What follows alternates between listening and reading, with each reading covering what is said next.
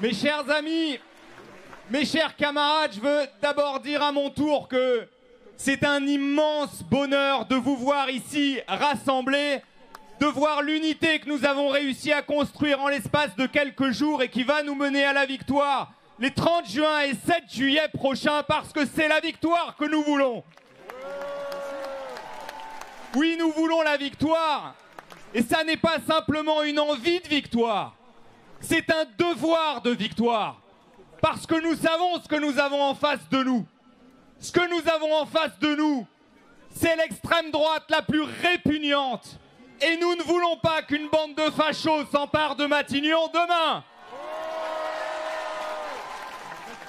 Oui, nous sommes unis parce que nous avons en face de nous des gens qui n'aiment pas la France, des gens qui n'aiment pas la République, des gens qui n'aiment pas notre pays tel qu'il est, c'est-à-dire le pays tel qu'il se déploie sous nos yeux, un pays d'hommes et de femmes divers venus du monde entier, mais qui partagent des valeurs, liberté, égalité, fraternité, parce que c'est ça qui fait l'unité du peuple français. Alors oui, nous sommes unis et nous savons aussi que nous avons en face de nous des imposteurs, des imposteurs de la question sociale, des faussaires de la question sociale. Regardez, regardez Madame Le Pen, qui a fait prétendument campagne en disant qu'elle était pour la retraite à 60 ans et qui fait alliance avec Monsieur Ciotti qui prône la retraite à 65 ans.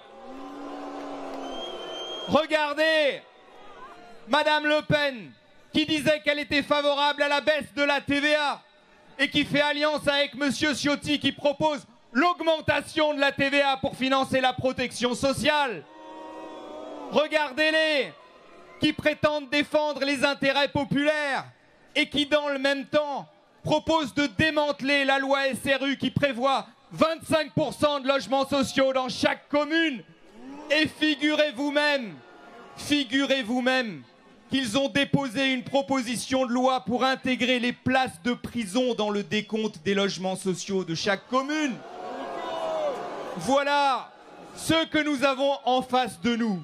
Et nous, nous avons décidé de nous unir pour résister à l'extrême droite, mais surtout, surtout, surtout, surtout, pour redonner de l'espoir aux millions d'hommes et de femmes qui vivent en France et qui n'en peuvent plus de la politique d'Emmanuel Macron. Cette politique qui paupérise des millions de Français. Cette politique qui humilie toute une partie de la population. Le temps est venu de tourner la page. C'est le temps du nouveau Front populaire. Et nous allons construire cette victoire tous ensemble.